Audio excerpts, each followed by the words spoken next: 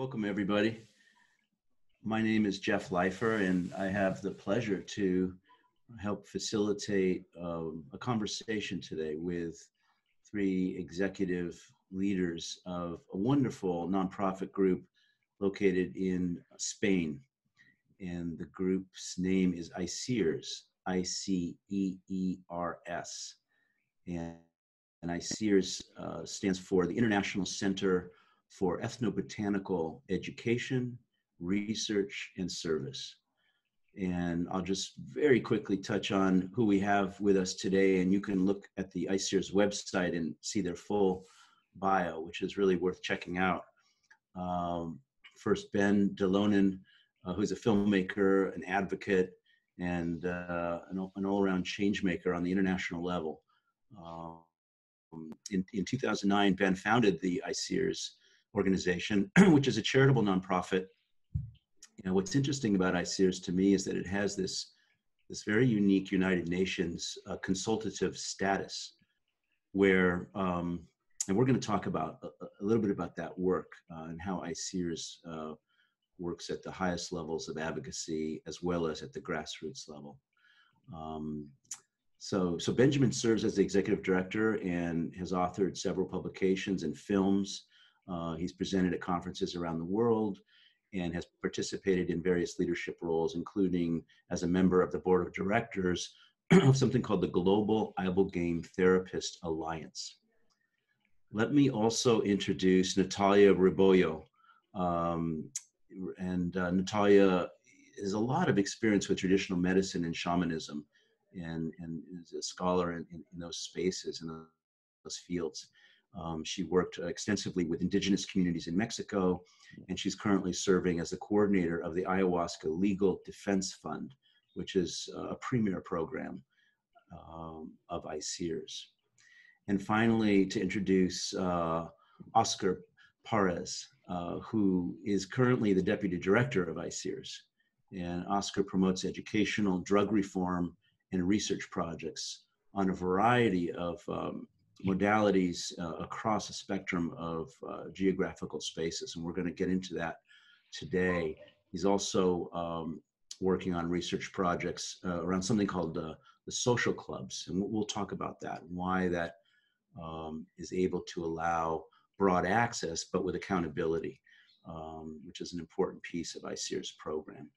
And so um, Oscar is also the organizer of the World Ayahuasca Conference which is a, a really significant international gathering of over a thousand um, stakeholders in the, in the ecosystem. So welcome, Benjamin, Natalia, and, and Oscar. It's a real honor to be in conversation with you and um, bring this important uh, work to the communities, particularly of uh, the K-Dome, the Infinite Playa, and the Ketamine Research Foundation, as well as uh, the other folks that want to want to jump in with us. I think before we start, I'd just like to maybe read uh, the short one sentence vision statement that uh, ICEERS has on, on, their website. So you have a little bit of context about, about this important work. And, and it goes like this We envision a future where psychoactive plant practices are valued and integrated parts of society. It's simple and it's powerful. And the, the core values read like this environmental sustainability, honoring cultural diversity, respect for indigenous and spiritual traditions, human rights approach, transparency and integrity, evidence based decision making, reducing risks and harms and maximizing benefits, and respectful, engaged, and collaborative relationships. So that, that's a little bit of uh, the context of the important work that, um, that ICEERS has been deeply engaged in since 2009. So Benjamin, maybe as, a, as just an opening overview, one of the things that's just fascinating to me about ICEERS and has been so effective is, is, is the fact that you're working and engaged with uh, institutions and organizations as significant as the United Nations, and yet engaged at a grassroots level with these social clubs and working in decriminalization and working with uh, indigenous communities and cosmologies. That's not very common uh, in, in North America, where, where I'm uh, chiming in from in Northern California, uh, and you all are in Spain. Uh, and it's not really very common anywhere in the world. So perhaps you could speak to how you're able to do it, um, and how it how it came to be like that, and why you, why you feel it's been so effective. Mm-hmm. Yeah, I think ICEERS is an organization that's really in kind of the liminal space between all of these worlds worlds that you've uh, mentioned. Uh, and I think that is important because we're working around plants that come from traditions with different worldviews that are globalizing now and, and meeting kind of our, the, the global north in our, our ways of thinking here.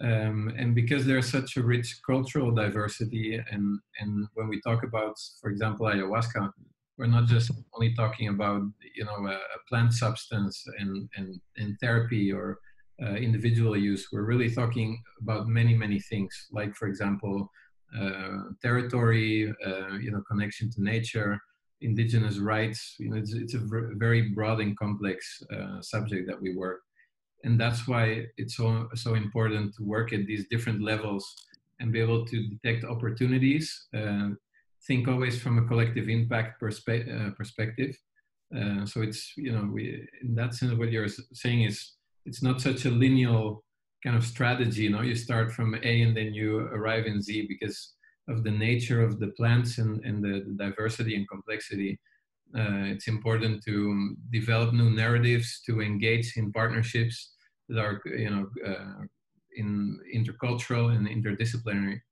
uh, and and through that advance towards the world that we want to see. You know, and the world we want to see is one where uh, it's not just kind of you know only a, a plant that's you know available to a, a specific audience within a specific uh, context. For example, psychedelic medicalization, which is a biomedical framing, but where we see that type of access within a, a broad spectrum of uh, different um, accesses and recognition of ancestral uh, you know systems that, that surround these these plants um, you know you have the churches the religions so to, to make sure that all of those different uh, systems of use have their place and um, you know where we can move towards maximum safety maximum ethics accountability uh, strong collectives um, and really kind of you know move towards the, the core uh, issues that we are facing as humanity. And now more with covid which is really i think uh, obliging us to um, you know become one and, and really think as one in, in dealing with, with those challenges i really appreciate this uh, benjamin because uh, well traditional nonprofit structure is often around sort of one cause or campaigning around a certain advocacy uh, platform. And what I keep hearing about ICEERS is, oh, they're an ally for us in the Middle East. They're an ally for us in Northern Europe. They're an ally for us in Africa. Um, they're an ally for us, you know, on the front lines of decriminalization, uh, medicalization. And so it just sounds like that you, with the nimbleness of the organization, your team has been able to facilitate sort of communication at the hub of these different ecosystems, modeling in, in many ways the nonlinearity of the healing uh, technology, if you will, the healing uh, system that these ancient, um, in, in the case of the indigenous, these ancient ways have always been held and offered. And yet, and I guess we'll talk about this later, um, we are seeing it united with modern Western technology. Uh, and and it sounds like that can't really be done unless there's somebody at the intersection of these uh, these ecosystems. So it does sound like there's sort of a nimbleness and a facilitative um, role, and yet at the same time uh, a role as an ally. Does that sound like uh, a fair representation? Yeah, and I, I, think the World Ayahuasca Conference is a good example of where you know the, the name says World Ayahuasca Conference, uh, and also the ayahuasca defense fund you know one might think and we get that feedback that uh, it's actually you know why only about ayahuasca it's so limited uh, you know natalia can say a bit more about the ayahuasca defense fund which we called like that because many of the cases were about ayahuasca, mostly in the beginning. But it's really about you know broader plant medicine. But then at the conference, the experience that people had was that actually kind of the ayahuasca or the, the plant medicine is a connector. Uh, you know, brings people of different backgrounds, of different uh, you know knowledge and expertise together. Uh, you know, we did a, a policy uh, meeting there, for example, and there were people from drug policy, from human rights, working in indigenous rights, in Amazon conservation, kind of all of these different perspectives. And what they have in common is an interest in ayahuasca. But is by you know kind of the ayahuasca really as a vine connects all of those perspectives and elevates our collective understanding of, of the issues that we have hand, hand. So for sure we we are a convener. Uh, we convene different stakeholders so that we can mutually en- enrich our our um, you know understanding of of the matter and in a broad sense. Uh, and at the same time, we always try to think you know 10 years ahead and a lot of our thinking also around psychedelic medicalization you know where psychedelics are put in a in a biomedical model which is now you know most of the funding and you know also the for-profit world is now very much invested in that in that vision. For us it's like okay that's that's kind of a step but really you know what comes 10 years later uh, if we really want to tackle the, the issues that we have uh, in the world at the, at the you know at the core uh, and moving from a, a, revolution in psychiatry to really a, a, revolution in health in the in the broad sense of the world and you can only do that when you understand the interconnectedness and uh, how all of these different perspectives can can come together. Um, Beautiful. So, um, so, and you know, another example is like drug policy uh, has all of their narratives and their ways of thinking, and when you focus on plants where you know that come from ancient traditions that still are alive today, bringing in narratives from that space also can then help uh, you know broaden uh, the views uh, of the drug policy world uh, and the same in other areas, no, in health and in others. So, mm-hmm. so that's what we try to do, really innovating and, and convening dialogue. Um, Beautiful. I'd like to bookmark that uh, and come back to decriminalization uh, and medicalization uh, and talk to Oscar in a minute.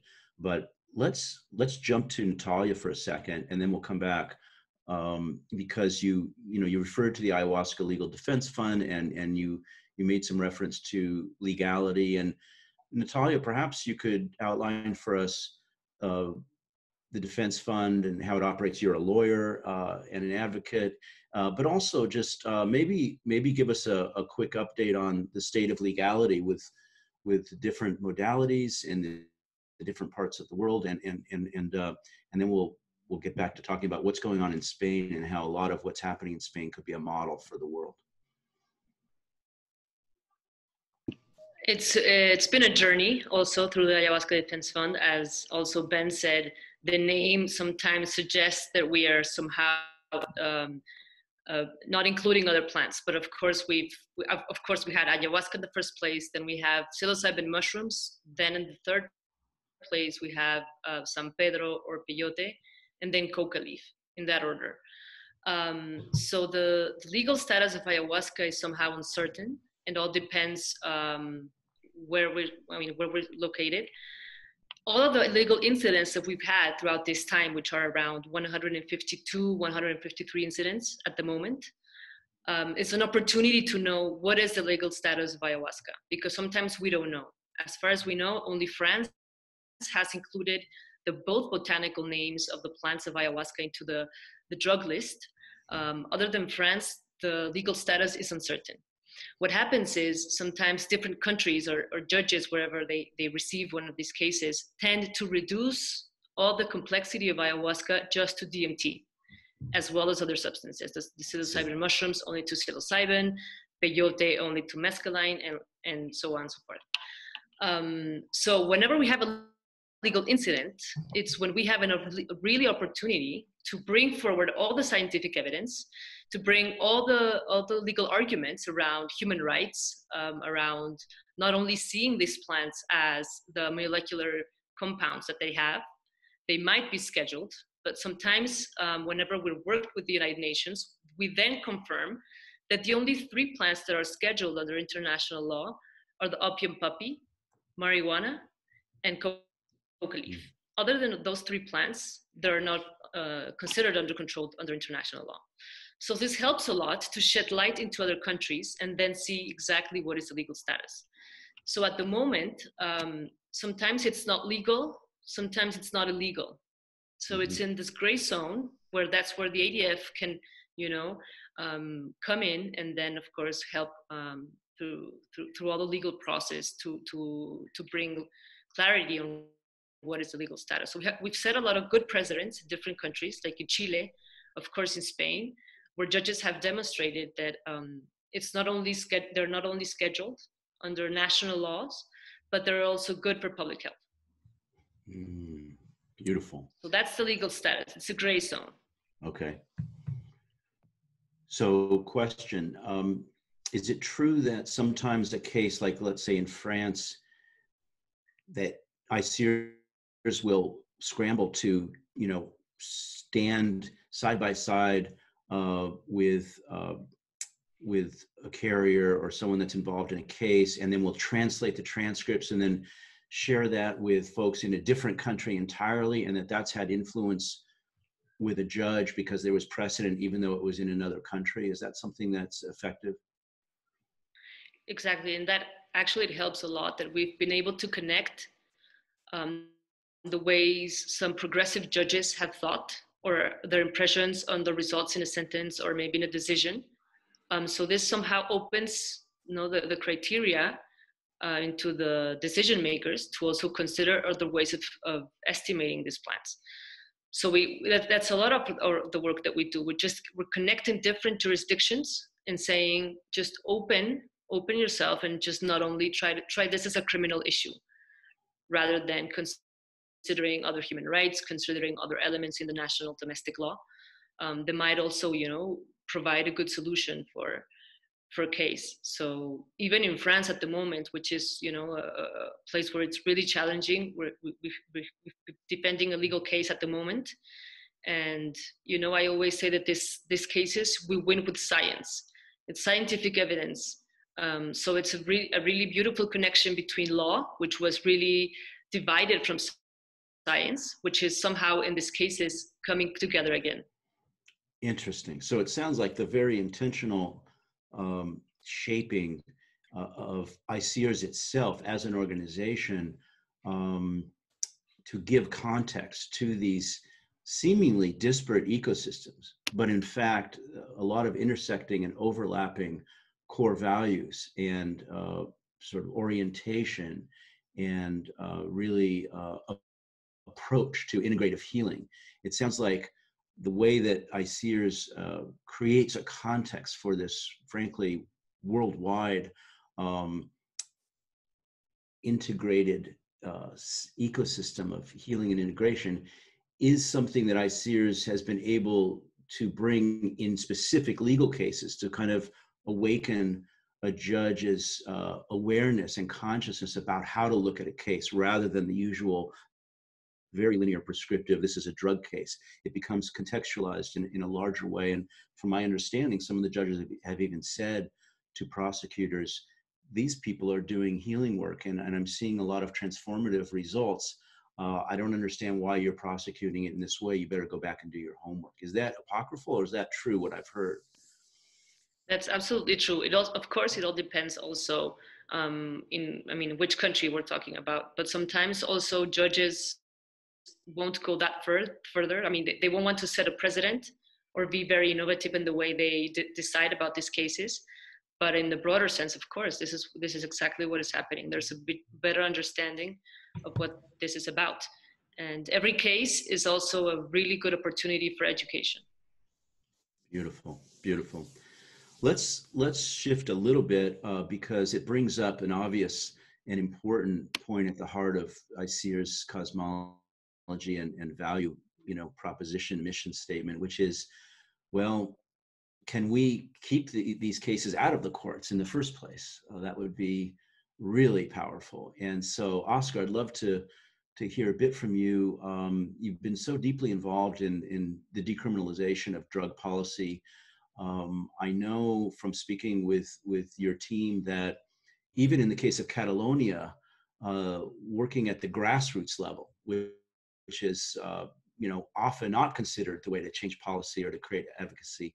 Uh, and then and then if you look what's going on around the world, including in North America, there's a social uprising. It's happening. Uh, in, in many re- regards, particularly around uh, inequalities, uh, systemic racism, um, the acute uh, effects of COVID uh, and how it affects marginalized populations but particularly around drug policy. Can you talk a little bit about decriminalization uh, and then and, and, and, how Catalonia and, and, and, other examples in Spain might be a model for, for how we might be able to shape this in, in, in other parts of the world? Yes, thanks, Jeff. Um, I would like to go a bit uh, back and say that somehow ICEERS has flourished here in Catalonia, in Barcelona, for some precedents that uh, make the, the conditions to, to be able to, to connect all these dots and to be involved in these different scenes. And I will uh, comment uh, a couple of, of, of them, but I will go deeper on, on the decriminalization uh, point. But first, I want to mention that because of Spain um, has a strong connection with uh, South America because of the language and the history, here is, was one of the first places where ayahuasca landed in the late 90s. So, for example, I had the chance to drink ayahuasca with 17 years in the 1998 here in Barcelona, and it was not the first group that was doing that. So, uh, ICEERS uh, Ben came here in 2009-10. So there were already a decade of, of, of movements of people uh, self-organizing or inviting indigenous representatives as well. So somehow this scene was going on. A lot of people uh, had to fight a lot to to open this uh, arena so others, so for example, as we can come and do another work. But we are very very connected to the people who was before in this scene.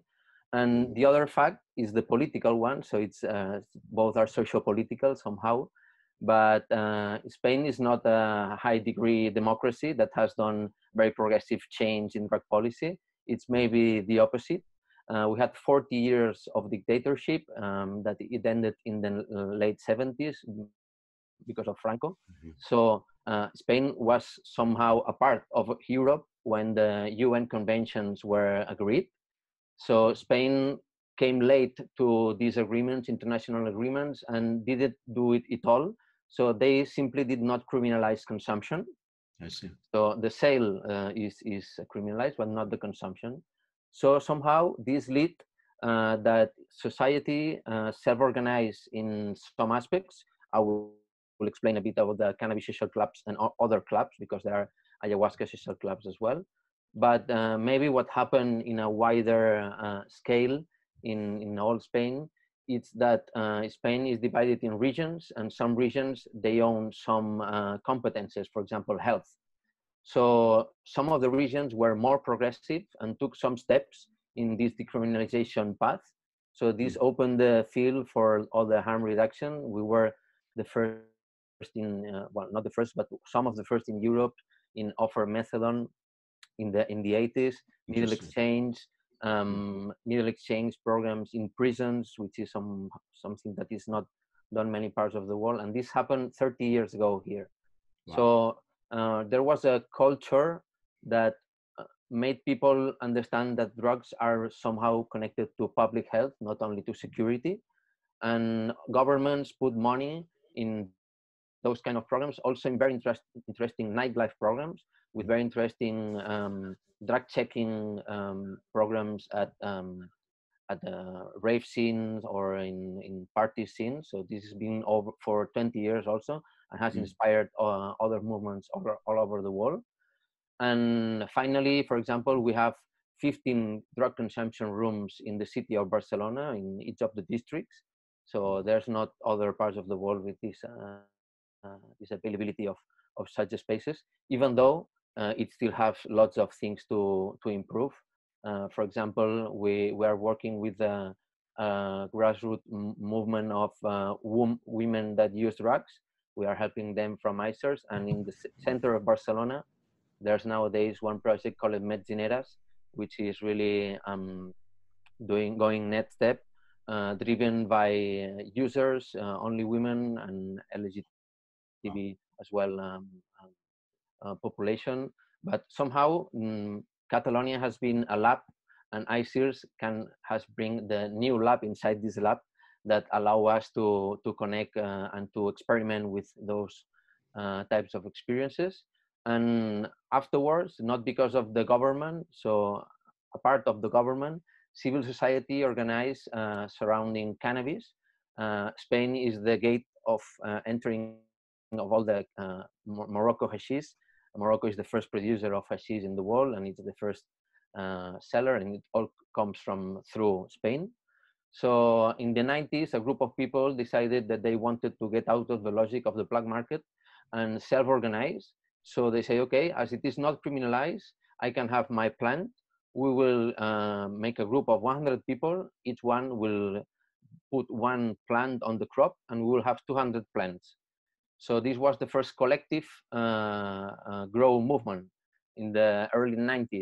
Mm. And 30 years after, we have 1,200 clubs, social clubs opening every day in Spain.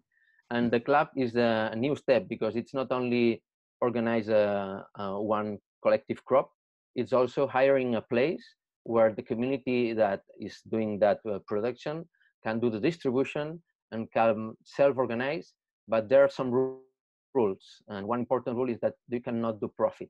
So it's community-driven projects without profit, so uh, it's not focusing on selling more, it's focusing more in creating culture and on generating uh, new responses to the failure of the prohibition system regarding cannabis. And uh, it, I have to say that although it's not illegal, it's not totally regulated. So bad practices can happen, and also um, mafia can try to take its part. So we are on this path, of helping grassroots movements to to get the regulation they deserve, to stop the repression, and um, how we, one we can shift these learnings from cannabis, for example, to ayahuasca. Uh, there are nowadays uh, uh, a few ayahuasca social clubs, which is more or less the same uh, idea. It's a reduced group of people that self-organize how they uh, receive the the substance and how they distribute it and it's a closed circuit. It cannot be um, you cannot advertise it. You cannot make profit. And these learnings these experiences is the field where we are and what we try to learn what we try to bring our perspective and also connect it with uh, mm, other scenes all around wow beautiful oscar this is uh, such, such a refreshing um, outlook and such important work I just want to acknowledge how challenging it is to adhere to the core value of inclusivity and accessibility and diversity. It's it's it's bandied about a lot because it's very trendy. Um, there's all sorts of, uh, frankly, legacy organizations, including nonprofit organizations, that are pivoting right now because of what's in the zeitgeist and because it's very um, the social uprising is bringing it to uh, the forefront, but ICEERS has had this at the heart of its cosmology for a decade now, and it's it's it's just really uh, inspiring. And I'll say that many have been critical uh, of certain efforts here in North America over the past couple of decades uh, around medicalization, and I want to segue with you into a bit about medicalization, but just to say that this inclusivity piece, this uh, diversity piece, and and the role of the grassroots. This is not something that comes easily uh, over here in, in North America. There are some initiatives, you know, MAPS has an expanded access program, etc. But for the most part, there are many, many people concerned about psychedelic medicine ecosystem in North America and in, in sort of the, the, the very first developed parts of the world becoming an elitist, primarily uh, white European, uh, male dominated ecosystem and getting into the very same uh, inequality problems we have with a very, very distorted and unequal healthcare system. So we're inviting major course correction. And we also have big pharma which has typically um, often an extractive profit model around mental health and healthcare. So, just to say, uh, props and acknowledgement of what ICEERS has been doing for a decade. And maybe if you just wouldn't mind segueing a bit into uh, medicalization and then and then you know I'll let Benjamin come in and pick up on that a bit because it because the medicalization effort the way that ICEERS holds it is broad enough to include multiple uses multiple modalities multiple geographic ecosystems and even a place for the indigenous and that kind of reciprocity and that kind of alliance we don't we're not seeing that quite honestly, very much in North America, and we need to. And, and can I can I just uh, add a bit to what what Please, uh, Oscar was saying? Yeah, you know, like working with the grassroots and and helping uh, collectives organize and become strong voices. Um, you know, that that's something which at the Catalan level there's so much experience over many many years, no, and, and we've been involved in. But then also we have seen that that's something we could bring to other countries. And you know, just like for example, Chinese medicine practitioners in California at some point uh, all recognize that this is potentially dangerous if it's not done right. No, if the needles aren't clean or there's no standards of, of safety. Uh, they came together, they self-organized, and then out of self-regulation came full regulation. No? And uh, and so this is something which we have brought to uh, plant medicine in in different um, countries, understanding that either the illegality or the gray zone, which is the situation in most countries, as Natalia pointed out, really isolates people and uh, it, and it avoids information to flow and people to learn from each other, from each other's mistakes and from each other's uh, expertise. Um, and so that's and so when you bring all of those people together and they start to self-organize to learn from each other to become a strong collective that upholds, um, you know, uh, responsibility, collective responsibility, systems of accountability. Uh, then, then really you elevate of that whole collective, um, you know, the the practice, no, and and um, safety, thinking about inclusivity, ethics, and and other uh, aspects. And so, uh, out of that work, one uh, again very um, you know pioneering thing which happened in Catalonia was that then in our uh, engagement with the health authorities in Catalonia, which we have a good, very good relationship, they commissioned a report, which was which is a report for uh, best practices on ayahuasca. It's called Better Ceremonial Ayahuasca Practices for uh, Ceremony Organizers and Participants. And this was published by the health authorities in Catalonia and they knew that this all came out of engagement and, and community building with the practitioners communities there no? and and for me also that's kind of a next level of harm and risk reduction because i mean you know when th- those collectives become responsible and they have their safety standards and they do good screening and there's a support structure for people who need uh, continued care uh, you know that's the way you avoid uh, problems for many many more people than just informing uh, participants of ceremonies. No? And so we hope that that also that work, uh, you know, as out of the lab can move to other parts of, of the world and um, yeah, and pro- ideally at the end point create professional guilds of uh, practitioners of a broad, broad variety of uh, cultural backgrounds, but with the same ethics, the same safety standards that they agree on, uh, and com- combined efforts for uh, support structures no, for uh, integration services or dealing with adverse situations. Mm. Sorry, it sounds like you've really been able to form some loose, loose net um, coalitions, if you will, and collectives where policymakers, decision makers, as well as um, grassroots uh, leaders um, and and uh, initiatives stand in solidarity with each other in service to the same goals. This is a, a model of co-creation that really this kind of healing work I think demands if it's to be sustainable. We've seen, particularly uh, in the 60s, and you know we've seen a backlash from the status quo because of fear uh, and because of uh, wrong-headed government uh, repression. We've seen sometimes this research pushed underground and, and, and, and, and had a real missed opportunity for decades around mental health and healing. And by doing it this way, you're you're, creating solidarity, but uh, and, and, and alliances, but also uh, inviting the cultivation of agency by all stakeholders, and that that ensures really a long-term vision. Do you want to say anything more about uh, medicalization at this point? Uh, sure. Um, um, yeah, I mean, you know, I think it, like you know the medicalization process. Uh, in fact, that MAPS has been working for now 30 years, uh, and the fact that there's examples of doing it in a non-profit way, I think, is deeply inspiring, uh, and will and and really is a revolution in psychiatry. Um, you know, this like uh, you know psychedelic assisted psychotherapy is really connecting psychiatry with psychotherapy.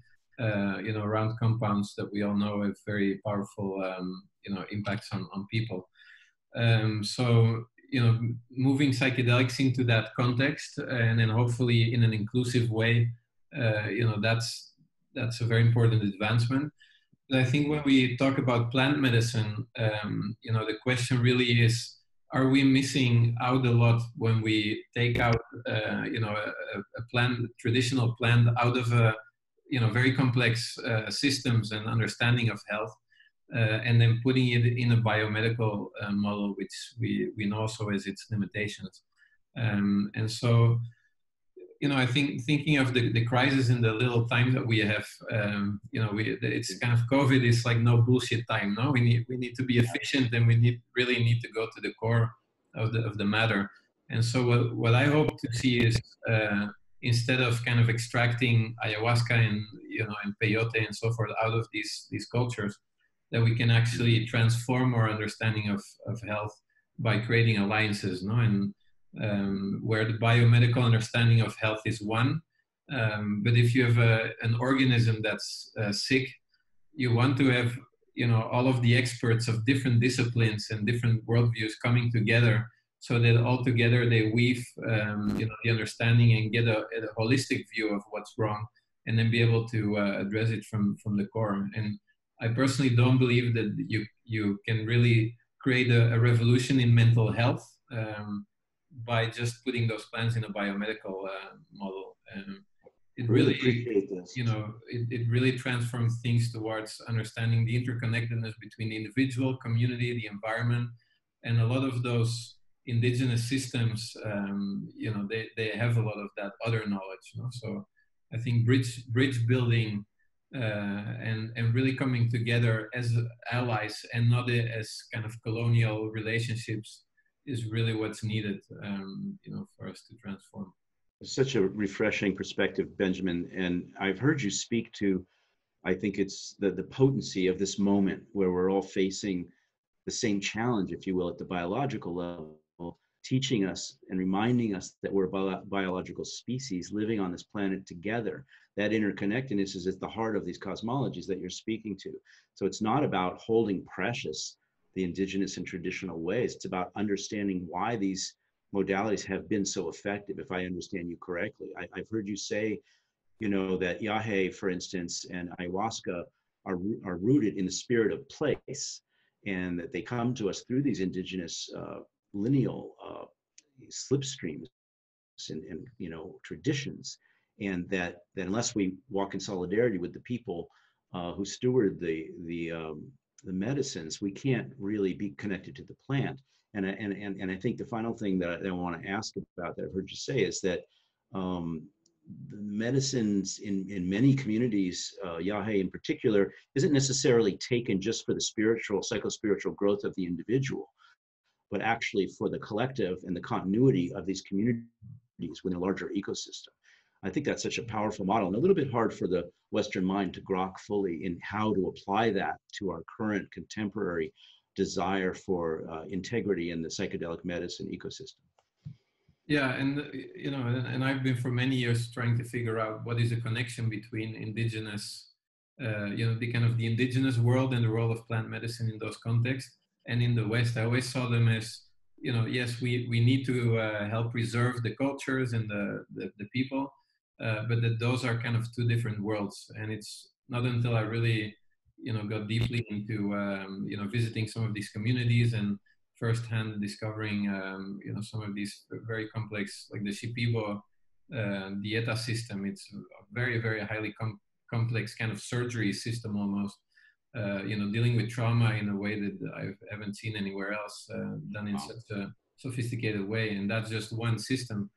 Uh, so I've come to see, you know, like if all of those experts, it's like in a hospital, you know, you have the, the, the surgeons and you have the nutrition experts and, you know, the general practitioners and the psychiatrists, they all come together uh, over one patient and they're now all seeing the interconnectedness of the, the symptoms and getting to the root cause.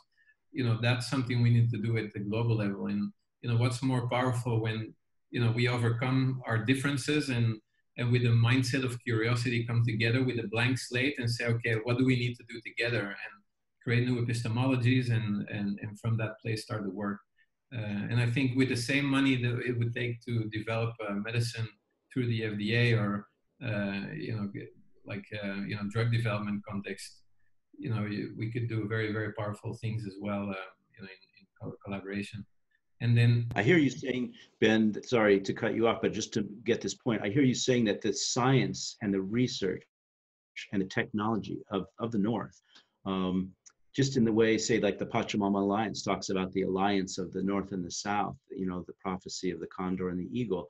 I hear you saying that very specifically with the psychoactive plant medicine ecosystem, there's an opportunity here to to work with the science and with the data, as we are in King's College in England and with MAPS and USONA and Heffter, et cetera, Ketamine Research Foundation. But I hear you saying that these two pieces must be bridged and integrated. Uh, it's not just the science and the data, uh, that the science, it doesn't take uh, superiority over mythos or culture or or the you know music and, and, and, and song traditions and the oral traditions, but stands side by side to create an integrated healing modality that that that is emerging. That's what I'm hearing you say. Exactly, and then you know how do some of those worldviews? You know, I mean, when I heard that the for say a COFAN, the the individual, the community, and the environment is really one and the same thing, and healing happens on all of those levels. You know, first I thought well, it's a beautiful idea, but then you know, I kind of started to really understand more as I got familiar and went through those systems. But you know, for example, Natalia, maybe we can talk a little bit about the rights of nature, no? Which is, you know, mm. what if you take that concept like nature, you know, is really on its own, you know, a whole living organism. We're part of that, and you know, how do you, you know, what if laws become uh, shaped uh, on those, that worldview and not just nature as a, you know, consumer product for you know for, for humans no and right to monetize. Mm-hmm. natalia please that that's that's such a spot on uh, segue. Yes and there's something about uh, what was ben was saying about just extracting the molecules which is repeating the same way of thinking that nature belongs to us rather than we belonging to nature. Mm. there's also another part of the polypharmacology of the components, right? That these plants are so intelligent and they have their own ways of uh, operating. When just extracting one molecule, uh, you might lose others that we don't know much about them. So mm-hmm. there's something about just respecting the whole, you know, ambiance around the plant. Um, and as, as Ben said, we've seen it with indigenous communities that sometimes it's not only about the plant, but it's also about the community. Mm-hmm. Um, you know itself as one body mm. as one energetic soul which um, if one person has a mental illness or a spiritual illness then the whole community is is ill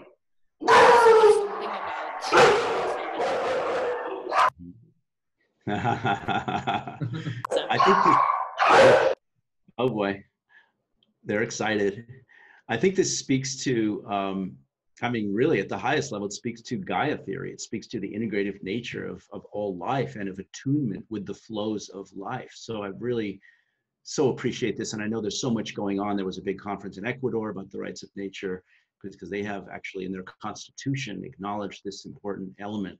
Mm-hmm. And ICEERS has really worked deeply to, to promote this and to support it. These are deeply important points. So it's very trendy to talk about integration uh, but yet at the same time, we're saying let's extract these molecules and work with them and have these peak experiences, and then somehow we're going to integrate. Um, well, it's you know that's that's a mental construct of coming from me doing the integration rather than the the plant and the integrated cosmology integrating me, if you will, because I am not separate from nature as an as a human, and the human system is not separate from the natural system.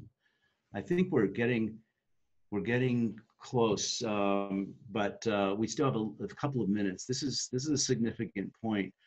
Uh, ben, what else can we um, maybe uh, point out is sort of at the at the at the top level of of uh, priority for ICEERS um, these days, given given mm-hmm. the upside downness of the world, if you will. Yeah, I mean, also the opportunity. I think we've touched upon uh, most things. No? I mean, I think our research and our, our policy work uh, kind of it's all in service of, of that bigger bigger vision. Um, mm-hmm. I mean, one thing I really hope is that because it seems like in the U.S. now, uh, you know, which obviously is a country that is, uh, you know, very much pushed the prohibition model, where now a lot of changes happening also again from the grassroots. And the whole decrim nature movement uh, and larger decriminalization is, a, is an, an, example of that, for these ballot initiatives. No? And uh, so I, I really hope that we can you know from a small country in spain where you know maybe sounds like a far away you know it's not not much to do with the us uh, that we can be of service in in in bringing that knowledge we like to connect the dots and what we learn in you know in our our back garden lab uh, to be able to to bring that to others uh, and in, in Spain, really, the, the, this association model, this community model, came about also because they recognized something which is called um, shared personal use, where understand that when when people come together as a collective to have a ceremony together, that that's still personal use, no? And uh, so I really hope that those type of concepts, for example, can be uh, become integrated in the way decriminalization is uh, focused uh, or given shape in, in the US. Um, and yeah, and, and again, kind of with all of the work, you know, in organizing collectives from the bottom up, uh, that, that all of the things that we learn and we learn so much from those processes it's that that's really what it's about you know mutual learning in all directions that those lessons can can serve um, you know in in in kind of other countries no where absolutely. collectives are trying to make change um, beautiful. I i so appreciate uh, you benjamin and, and oscar and natalia and your entire team really encourage everybody to go to the ICEERS website to to get involved, to support the, the work that's being done around COVID, around the, the Legal Defense Fund. Um, resources are obviously needed, but uh, this isn't a pitch. This is more about solidarity, standing in solidarity in the way that ICEERS has for, for so many. Uh, I, I invite uh, us all to stand in solidarity with you and just say thank you for your beautiful work. Thanks a lot, Jeff. Yeah. Thank you guys so Thank much. Thank you. Yeah. More to come. Cheers. I love it. Take care.